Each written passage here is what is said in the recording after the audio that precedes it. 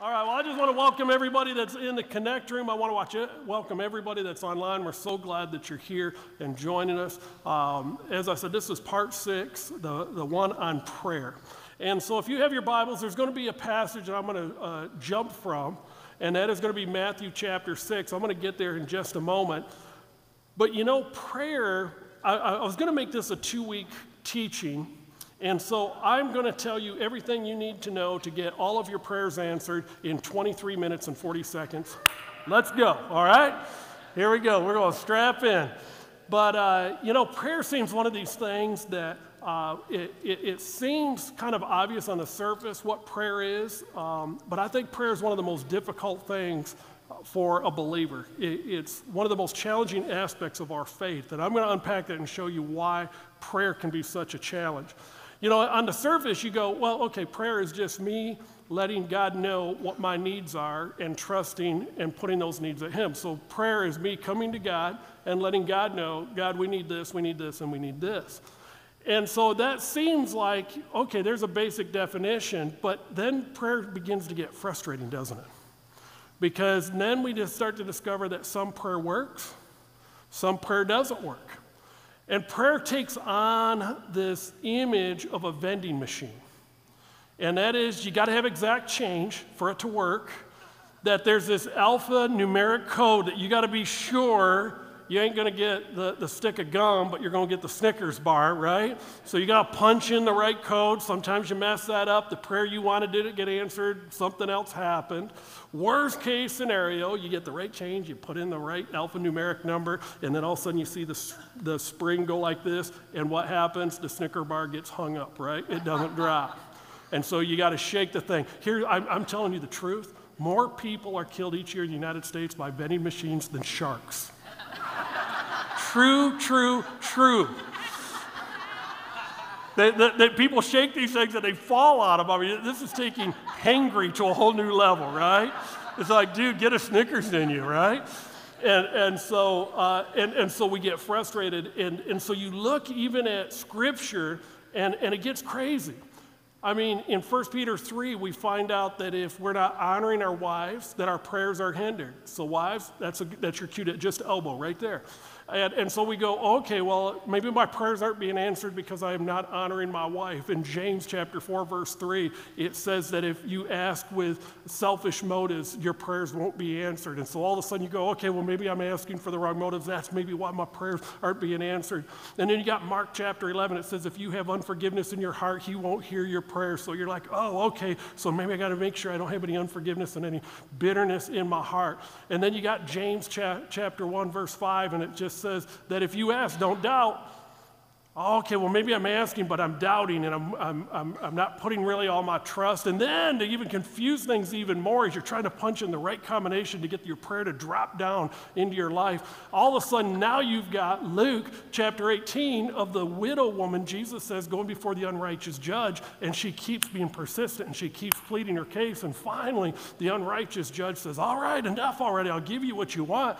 So now we're thinking maybe my prayers aren't being answered because I just need to plead my my case and beg God more until finally he gets tired of my whining and crying. And he says, Fine, have your blessing, quit bugging me.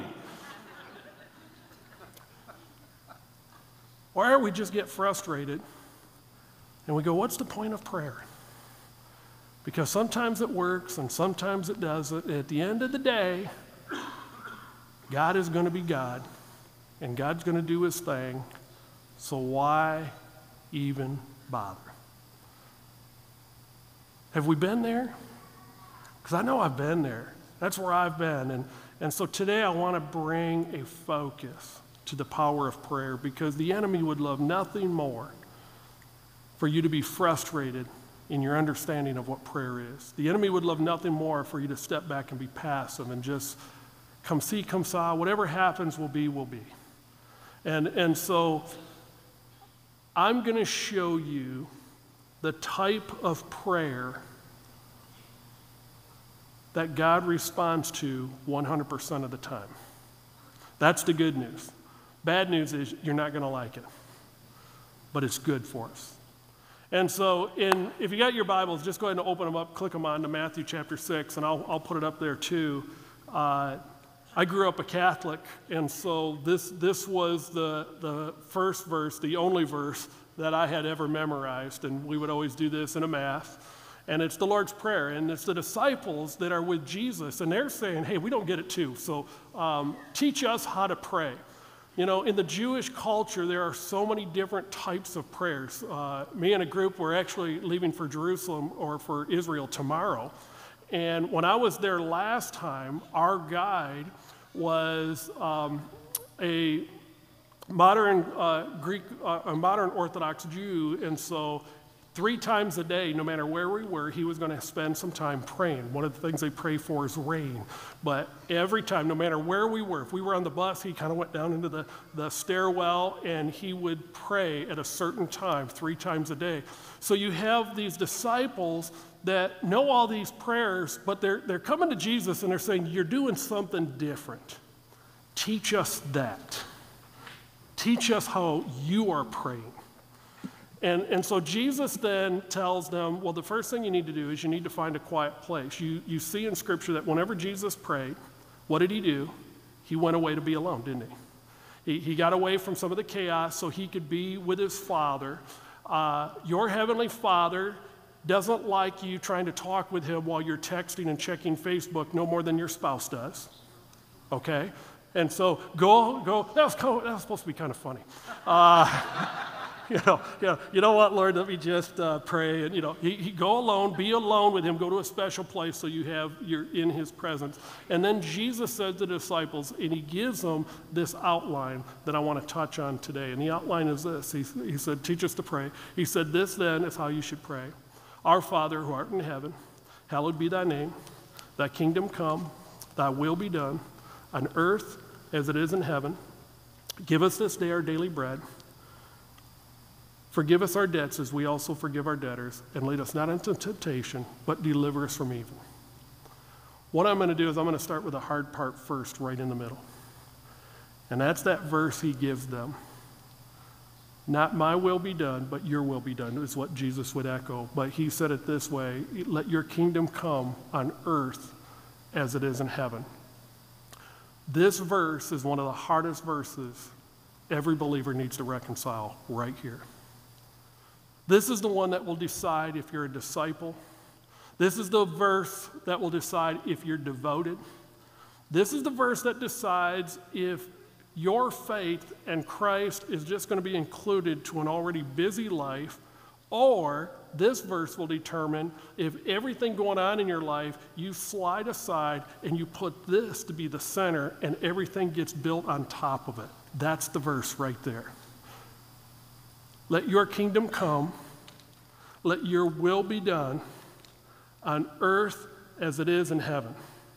Jesus is praying in the garden, crying, knowing he's about to be betrayed, knowing he's about to be tortured, and he throws up this prayer Lord, if there's any other cup that can come, uh, let that cup come, let this one pass. Meaning this, if there's any other way we can save the world without the torture that I know is coming. Lord, I pray for that to happen. That's his prayer, but then notice how he finishes.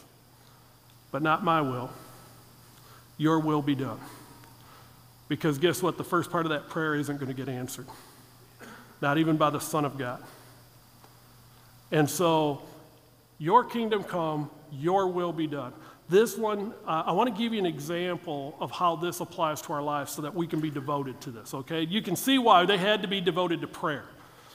Because it doesn't make sense. If prayer is just me asking for good things, you don't need to, you don't need to remind me to be devoted to that, okay? I'll, all day long, I'll just pray for good things to come into my life, lots of blessings. Lord, give me this, give me this. My name is Jimmy, give me, give me, give me, right? I don't need to be devoted to that. This I need to be devoted to. Because this, Jimmy don't like. Not my will, but your will be done. I remember, I, I, I knew this growing up Catholic. I, I, knew this prayer, could recite this prayer, but one time I'm reading this in the basement uh, of my home, having my quiet time at a small desk, and I'm going through, and this was probably uh, about 28 years ago. And uh, I get to this, And, and I'm just reading it, and I'm like, oh, I know this verse. I've memorized. This was the first scripture I ever memorized as a kid. And uh, hallowed be thy name, thy kingdom come, thy will be done on earth as it is in heaven. All of a sudden, I stopped, and I literally couldn't read anymore. And I thought, I don't believe that. I was convicted. I, I, knew it, and I, if you would have asked me any other time, I would have said, Well, yeah, Jesus is first in my life. But all of a sudden, I read that, and the Holy Spirit said, You don't believe that. And I thought, I don't believe that. And, and, and I knew I didn't believe it because when I said, Not my will be done, but your will be done, here was the thought I had. If God were to ask me to go to Africa, I would not go.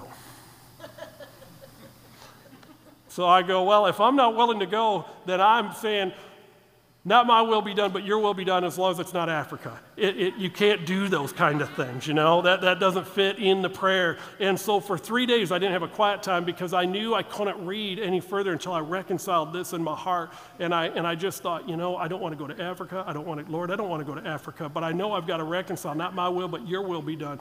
And so then I remembered, I remembered Isaac and I remembered Abraham putting Isaac on the altar, and he was going to kill Isaac, and the Lord said, Wait, stop. I just need to know you were willing to do it. Don't kill him. And I said, I know. I'll tell the Lord I'll go to Africa. I ain't going to Africa. well, I'll tell the Lord I'm going to Africa, so he'll go, Wait, stop it. I'm good. And then I thought, I literally thought this. I thought, He can read my mind right now and he knows exactly what I'm planning. And he wasn't going to send me to Africa before, but now he's got to teach me a lesson. Oh, God, I got to go to Africa. If I would have just behaved, I would have had to go to Africa. And, and, and for the next three days, man, I was just in this tension in my mind and in my heart. There was no peace. There was this tug of war. And I'm like, I'm going to have to tell Eileen, we got to go to Africa. And I don't want to go to Africa. We got two boys, one or three boys, and, and we just bought our first house. And so finally, I remember uh, I'm sitting there and I'm almost in tears at this point. And I finally said, Jesus, I'll, I'll go to Africa. I'm in. I, I can't live this way anymore. I'll go to Africa. And just real clear, I just felt the gentleness of God's Spirit said, James, I've never asked you to go to Africa.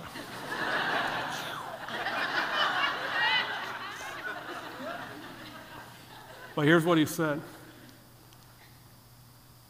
whether you're in Battle Creek at the time I lived in Kalamazoo or in Africa, I need your heart surrendered to me without condition.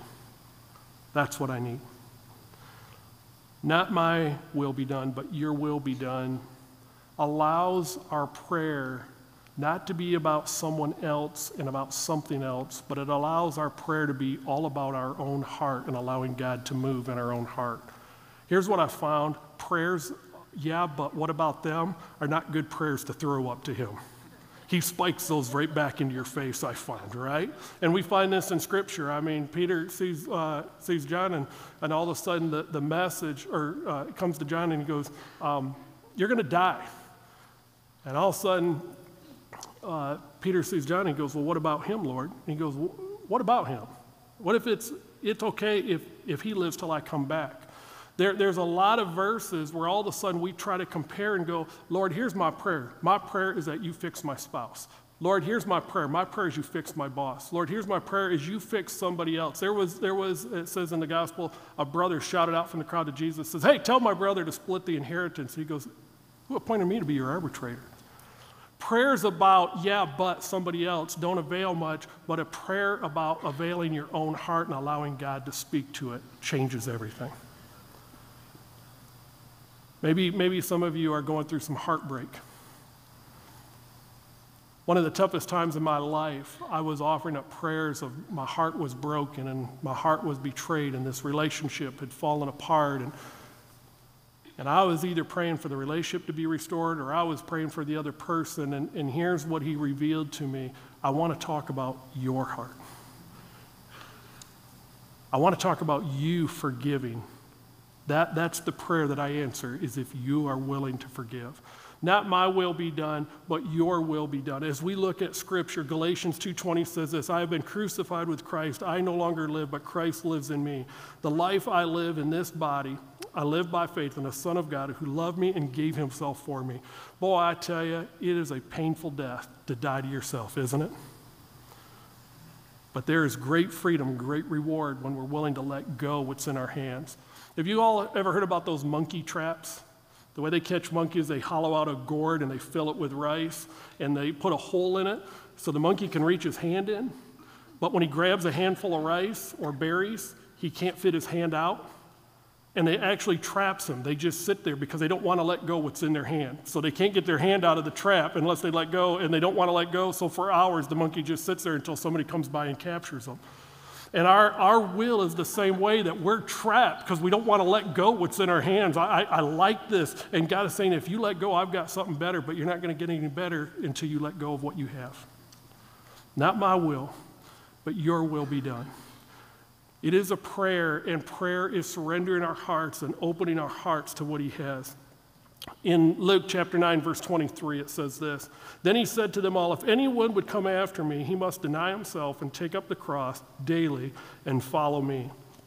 It is a surrendering of yourself and allowing God to change what's inside of you. We have uh, a family that just started coming here really only a couple months ago. I got permission to, to ask this. But it just shows how when you surrender your heart, the prayer that you normally would throw up, changes and God does something a little different than what you really wanted Him to do, but it's always so much better. And there's a couple that just started coming to this church actually about a month ago, and uh, they came in for the first time to Victory Life Church.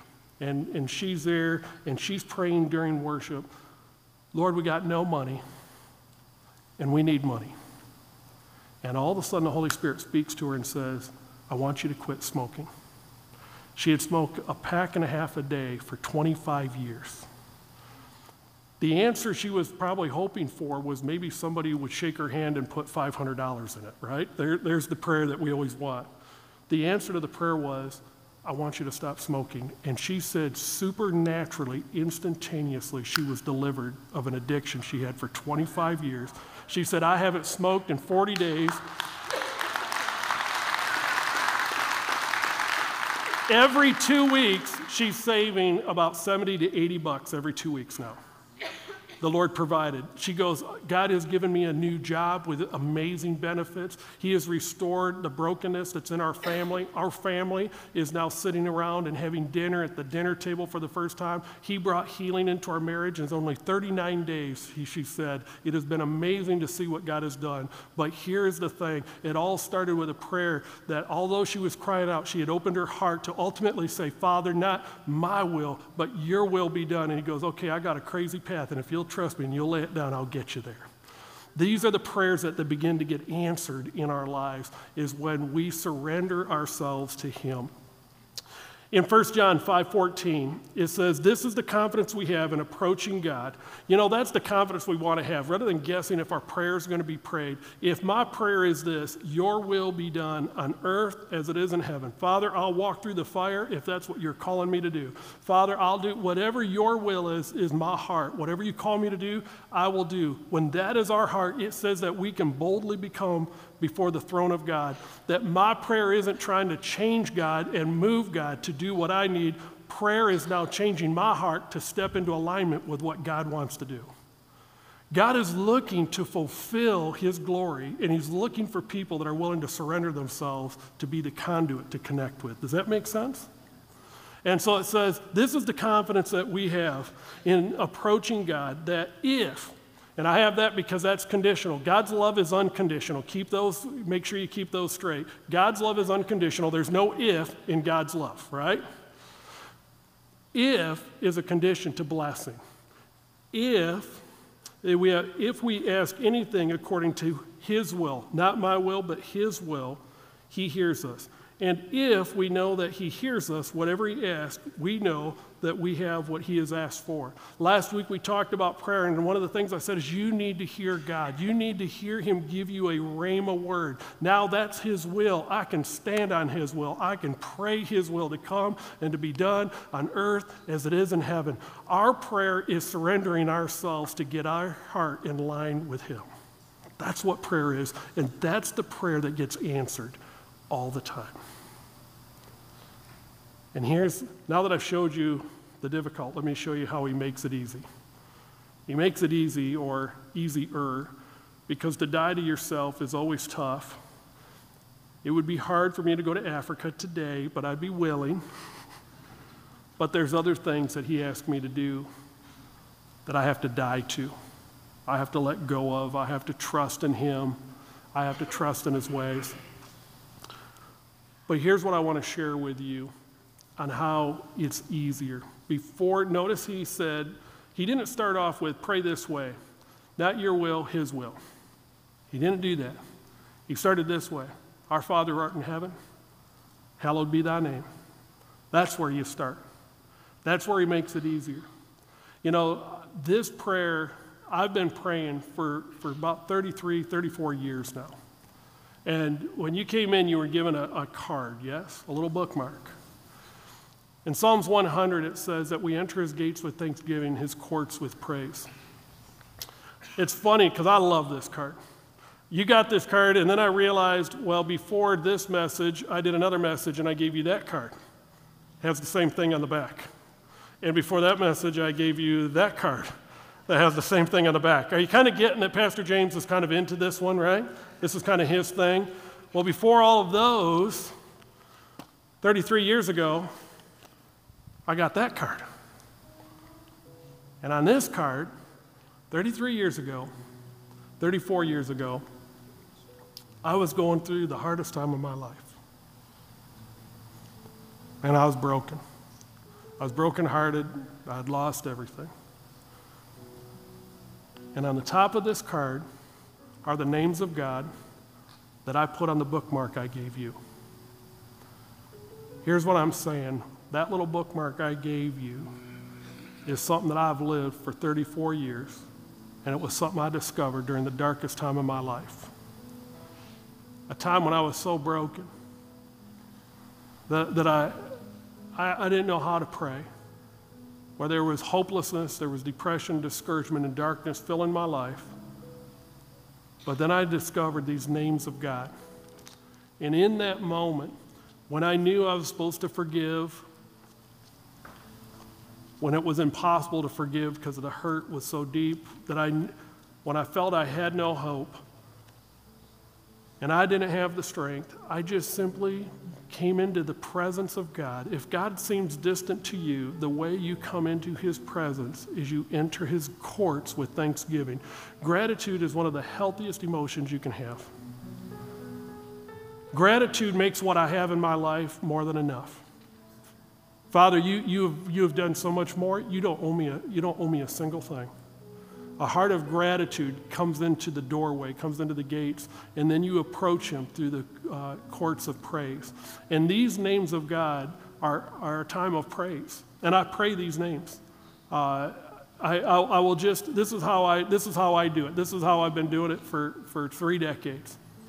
As I just begin my, my prayer and I just declare his name and I just say, Father, thank you. Thank you. You are Jehovah Tsidkenu.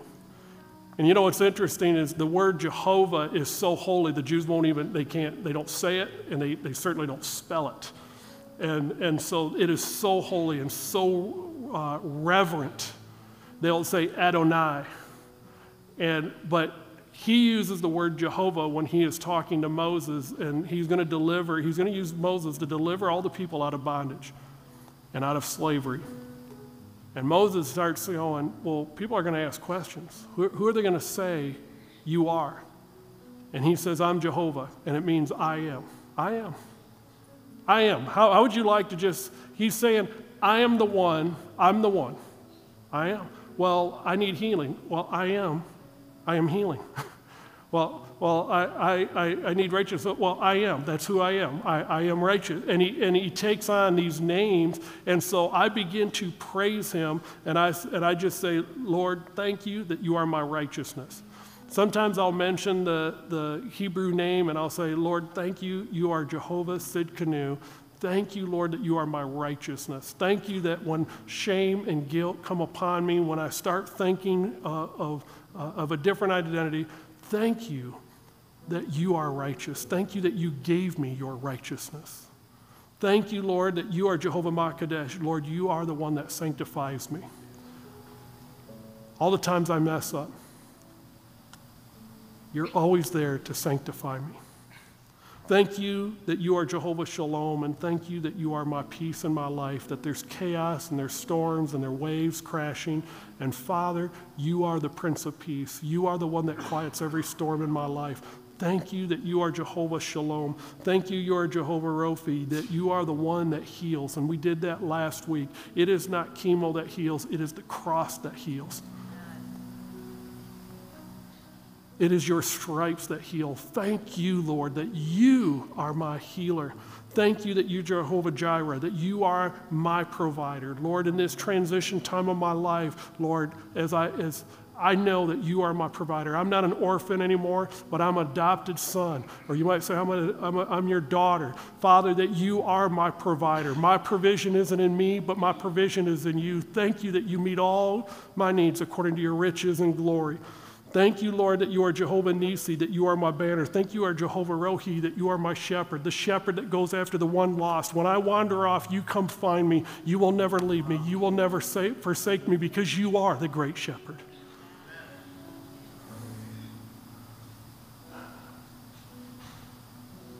And not my will, but your will be done. It's a little bit easier, isn't it, when you declare his name and you give him praise. I don't know where you're at in life. I don't know what you're going through, but I'm telling you, for 33 years, I've declared the names of God over my life. During the darkest times of my life, times when God seems distant, this is the card, this is the bookmark that I go back to to come home, to sit in the presence of my Father. That is the power of prayer. Come into His presence, and when you're in His presence, you feel the love and the trust and the power to surrender your heart and to simply say, Father, not my will, but your will be done. Amen? Amen. All right, let me pray for you.